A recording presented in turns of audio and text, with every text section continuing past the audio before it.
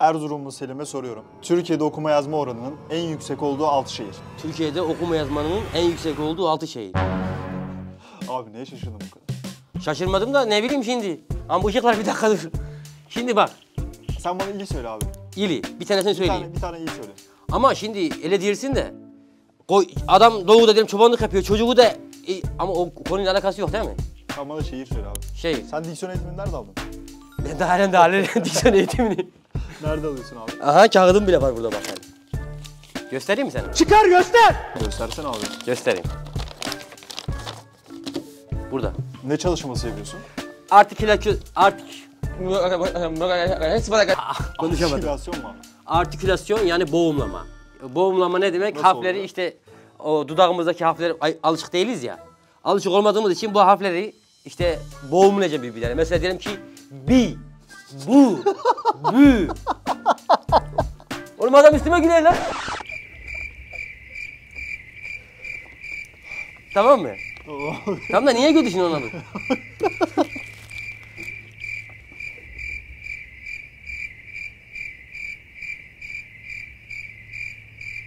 Bunun nesi komik sersem? Hoca diyor ki bana bak şimdi. Diksiyon eğitimi alacaksın ya. Eğitim alırken önce artikülasyon yapacaksın tamam mı? Artikülasyon da nasıl başlıyor? Dudakların var ya. Bu dudaklarını dudaklarını diyor ki işte nefes al. rrrr diye buraya hani dilin tembelliği varsa, dil tembelliğin varsa R sesi yap. Sonra yap böyle şu dudakların karıncalansın diye. Hmm, Dudak egzersizini nasıl yapıyorsun? Dudak eğitimini önce bir dakika. Yanaklarına şortlara bakmasın. Diyor ki 15 kere sağa ve 15 kere sola ama sert yapacaksın tamam mı? Sonra 15 kere çenenin aşağısına bile yapacaksın tamam mı? Ondan sonra 15 kere, lan 30 kereydi bunlar dur pardon 30 kereydi. Yani yukarı 30 kere aşağı 30 kere tamam mı? Abi dilini yukarı değdirmeye Tamam çalışıyorsun. değdirmek çalışıyorum ama dil kaslarının çalışması lazımmış. Sonra Abi bir şey diyeceğim. He. Sen e, bunlara nerede çalışıyorsun? Evde mi çalışıyorsun? ya şimdi haftada bir kere alalım tamam mı? Hocanın yanına gidelim. Tamam. Hoca 4 saatlik bir eğitim verir sonra evde kendimiz bunları yapmaya çalışıyoruz ödev verdiği için tamam mı? Hatta ben şöyle bir şey verdik hoca. Özgüveniniz gelişsin diye, özgüveniniz gelişsin diye dedi ki işte biz size paragraf vereceğim. Bunu duygularını belirt mesela. Diyelim ki ne? Benimki şöyle bir şeydi. İşte ah mahvoldum, ölüyorum, bitiyorum, beni boğazladılar, hırtlağımı keserler. İşte onun gibi tamam mı? Ben de bunu evde agresif yapıyordum hocaya sunmak için. Allah Allah. He sonra ben bunu o kadar abartmışım ki hocaya sunmak için. Bir baktım kapı çalıyor. Sayın bezmenler lütfen açar mısınız efendim kapıyı? Hani ben sürekli işte ölüyorum, kurtarın, yalvarırım demişim ya. Kapı komşular dedi kardeş sen ölür müsün? Hani ne ölürsen falan dedim ya abi kusura bakma ben yani bunun dersi olduğu için Adam şaşırmadım abi diksiyonla ilgili. ya diksiyon deyince bana baktı ne bileyim adam nerede şey. Zaten benim ya da yabancılar ötü. Bir, galiba bir... Sen en son nerede çalıştın buradan önce? Buradan önce mi? Ya sen şimdi abi sen onu boş ver. Ben bir gün bir günde üç tane işten kovuldum. Bir ay içinde de 18 kere disiplin cezası aldım okuldan. 18 18 kere. kere. Nasıl oldu abi? Bak ben sana anlatayım mı? Bak lise 1'deyim. O zaman biraz daha kanım canlı tamam mı? Bizim eee, okulun kantiniyle benim olduğum sınıf sınıf yani arada 2 metre ya var ya da yok. Çocuklar dedi ki buradan atlasak bir şey olur mu olmaz mı? Meğer müdür de kantin demiş. Kantin demiş. Ben nereden bileyim müdür kantin olacağını? Ben dedim ki ben atlarım gaza geldim tamam mı? Camdan bir atladım zırt diye müdürün önüne düştüm. Meğer müdür orada geçirmiş. Dedi oğlum sen sakat mısın kafayı mı yedin falan filan. Yani sonra o, oradan bir ceza aldım. Çocuklar sakın gelmeyin.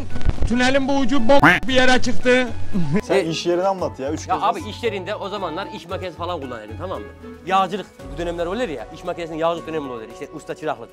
Ya ben sıkıldım artık yağcılık yapmaktan. Dedim ya ben ustayım oğlum, örgendim dedim ben bu işi ya. Ben bırakıyorum dedim. Ya dedi- dedim yok ben artık ehliyetim de var, örgendim dedim bu işi.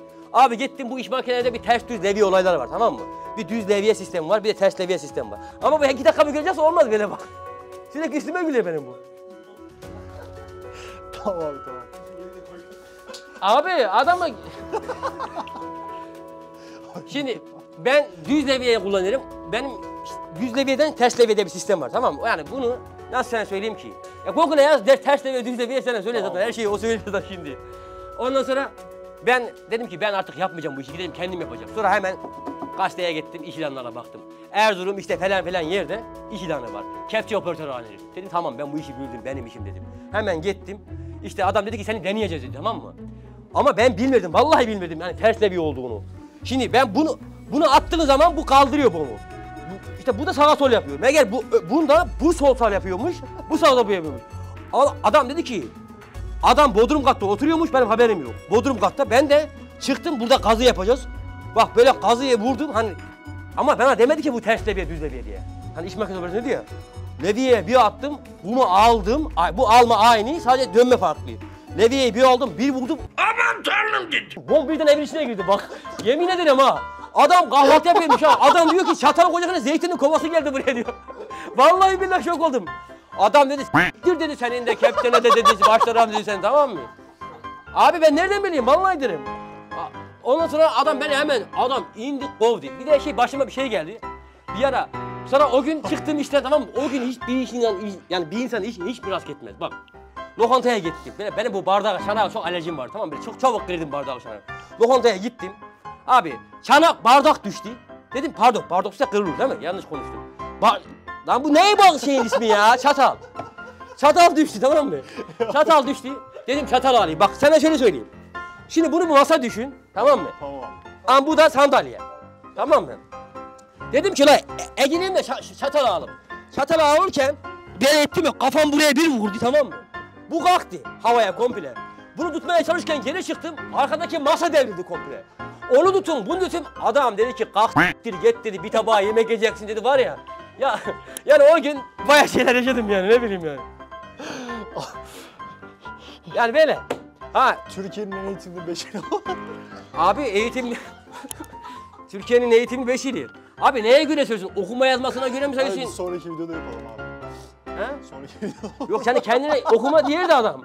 Tamam Türkiye'nin eğitim beşili var da adam neye göre eğitimi? Bu adam bilim mi bilir, felsefe mi bilir? Süremiz yetmedi sonraki videomuzda yapalım. Tamam sıkıntı yok. Problem yok. Bir sonraki videomuzda Erzurumlu Selim'le yine beraber olacağız. Bize sıralama yapacaksın abi. Tamam. Ee, videoyu beğenmeyi, Genç TG'yi takip etmeyi unutmayın.